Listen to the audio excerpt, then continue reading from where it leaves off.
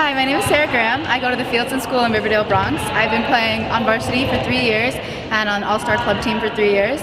I'm graduating in 2013 and I am a libero. Thank you for watching.